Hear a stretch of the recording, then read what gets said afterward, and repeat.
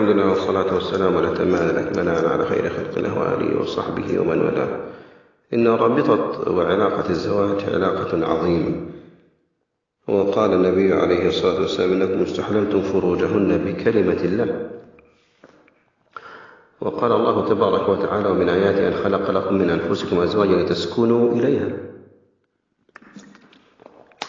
ورابطة الزوجية رابطة عظيمة. والرجل قوام على زوجته.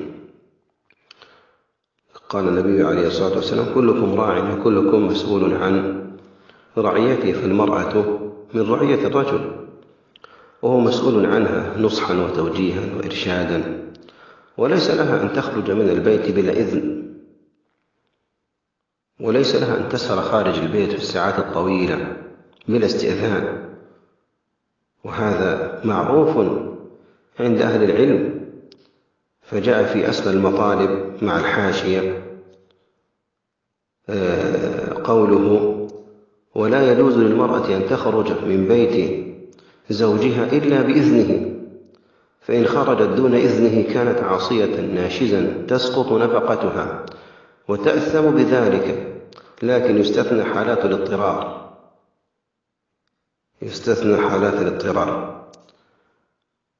هذا إذا كانت في بيت الزوجية. طيب إذا كانت في بيت والدها وهو أيضا كذلك وإن كانت في بيت والدها جاء في مطالب للنهى ويحرم خروج الزوجة بلا إذن الزوج أو بلا ضرورة كإتيان بنحو مأكل لعدم وجود من يأتيها به.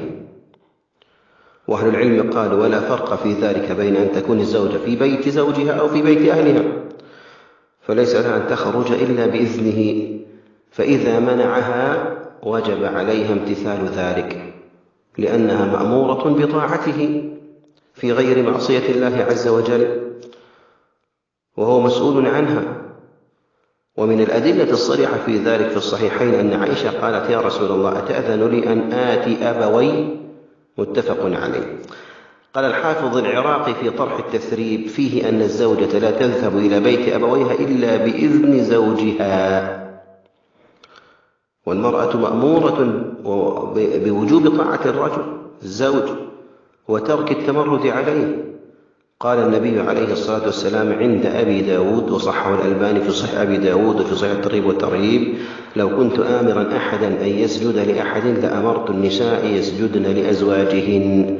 لما جعل الله لهم عليهن من الحق.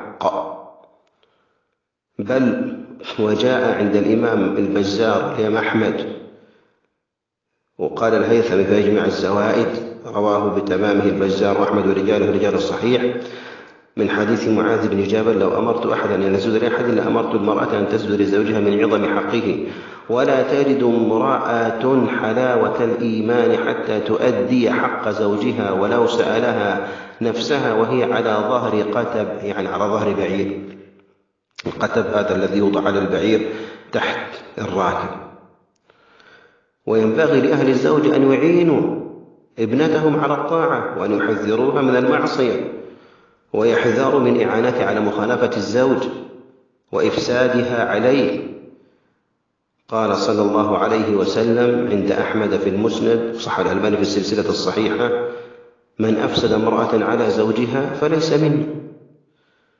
فهذه كلها أدلة واضحة الدلالة أيها الكرام الفضلاء في أن المرأة ليس لها أن تخرج من البيت ما دامت تحت عصمة رجل من غير إذنه. ولذلك هذا ينبغي أن يعلم في مثل هذه الأمور. ولا سيما عند فساد الزمان وتغير أحوال الناس. أمس مثلا يحكي لي أحد الفضلاء أن أخاه قد تزوج بامرأة ثانية وهي زوجة ثانية ليلة عندها وليلة عند الزوجة الأولى. ففوجئ بها أنها تخرج من البيت بغير إذنه. أين تذهب؟ تذهب لمقهى لشرب المعسل لشرب الشيشة مع إحدى زميلاتها المطلقات. ولذلك المرأة تكون صالحة ومن بيت صالح لكن نسأل الله السلامة والستر والعافية. تفسدها امرأة أخرى. وهذا قال فيه عمر حتى طفق نساؤنا يأخذن من أدب نساء الأنصار. فلذلك نحذر من هذا. بل وهناك من من الأحاديث العظيمة التي تحذر من خطورة أن المرأة تعصي أمر زوجها ولا تستمع إليه. عن أبي أمامة صدي بن عجلان عند الإمام الترمذي في السنن وحسنه الألباني قال صلى الله عليه وسلم ثلاثة لا تجاوز صلاتهم آذانهم. العبد الآبق حتى يرجع وامرأة باتت وزوجها عليها ساخط وإمام آه، لقوم أما هم وهم له كارهون. ولذلك عند الترمذي عن معاذ بن جبل صح الألباني قال عليه الصلاة والسلام لا تؤذي امرأة زوجها في الدنيا إلا قالت زوجة من حور العين لا تؤذيه قاتلك الله فإنما هو عندك دخيل يوشك أن يفارق إلينا. ولذلك ينبغي أن نتنبه لمثل, لمثل هذا. أيها الكرام الفضلاء. قال شيخ الإسلام ابن تيمية المرأة إذا تزوجت كان زوجها أملك بها من أبويها وطاعة زوجها عليها أوجب.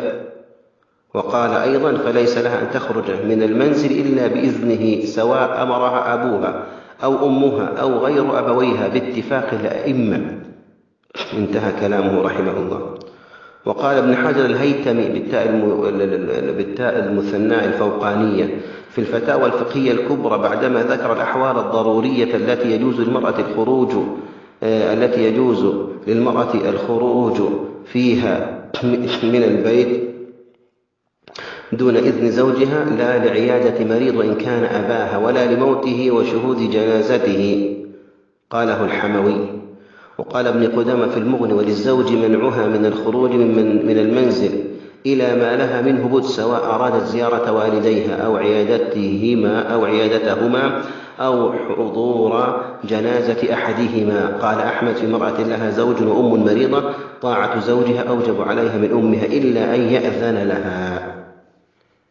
الحاصل أنه لا يجوز لهذه المرأة أن تخرج من بيت الزوج من بيت آه، من من البيت بعد أن أصبح لها زوج وإن كان البيت بيت بيت والدها. وللأسر أن يحافظوا على بناتهم من هذا الأمر. أيها الكرام الفضلاء أسأل الله أن يحفظنا ونساءنا وبيوتنا من كل شر وضر. وصلى اللهم على نبينا محمد وآله وصحبه وسلم. وآخر دعوانا أن الحمد لله رب العالمين.